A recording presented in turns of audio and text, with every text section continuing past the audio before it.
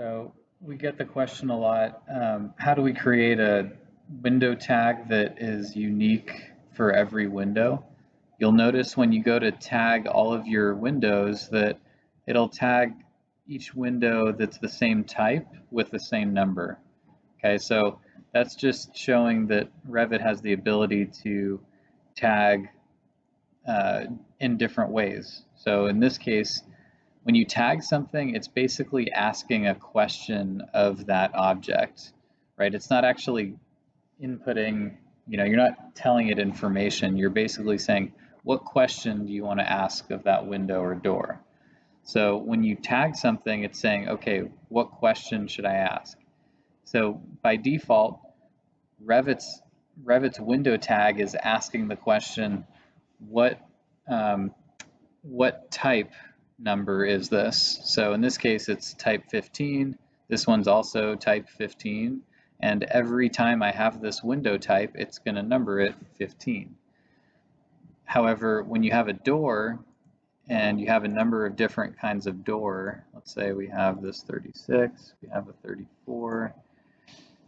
When we go to tag those under annotate, tag by category, it's going to tag these by its instance, right? So this is door instance number one, door instance number two.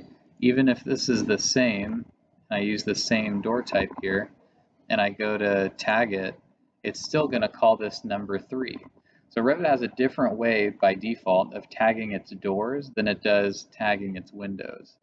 So again, by you know when Revit tags its windows, it's going to say, okay, everything that's of this type is going to get the same number where it gets to doors, it'll say even the doors that are of the same type, it's going to give them a unique number. So the reason is because the tags are asking a different question, right? For doors, it's asking which number door is this? For windows, it's asking which type of window is this? Which type of window is that one? Okay, so it's keeping those the same for windows and unique for doors. Okay, so that's the difference just by default, the way Revit tags windows versus how Revit tags doors. Now, if you want to go in and change the window tag so that it tags these in a unique way, there's a way to do that. So you can select the window tag, go to Edit Family. What we're going to do is we're going to change the question that this tag is asking of that window. So instead of saying, what type of window is this, we'll now tell it, we'll have it ask the question, what instance number is this? Okay, so if we click on the label itself, you can say edit label, and you'll notice that by default it says type mark, right? So that's the that's the mark for that entire type of window. So every time you have that type of window, it's going to get the same number right? I want to remove that. So I select it, select the parameter, remove it, and instead of type mark, I just want mark. So I click mark, add that over, and now it'll say mark over here. I hit OK, and you'll notice that symbol changes. I'm going to say load into project and close, and I'm going to load into this project that I'm working on. Do you want to save changes to this tag? Yes and I'm going to give it a unique name. I'm not just going to call it window tag, I'm going to call it window tag mark. I've already done one here. So window tag mark, hit save. That's because it's looking for the mark. And do we want to replace it? Yes. Okay, so now if I delete these old window tags and I go back to annotate tag by category, it's going to tag these in a unique numbering system.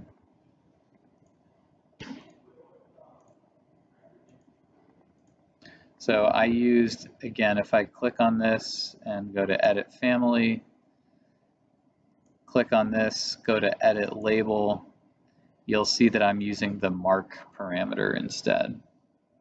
So now it's not looking for type mark, it's looking for the specific mark for that one instance of the window. Okay, so I can close that, close that, no. Okay, so now my windows are getting a unique tag, just like my doors are. Okay, so I can go into my, again, I can create a schedule based on this. So schedule, I can find a window schedule. And when I, that first thing that I put, I'm gonna make that, I'm gonna put a mark parameter as my first column in my schedule. Okay, so mark gets dropped in. I can add all the other information with height, manufacturer, comments. I can add all of that. Width of those.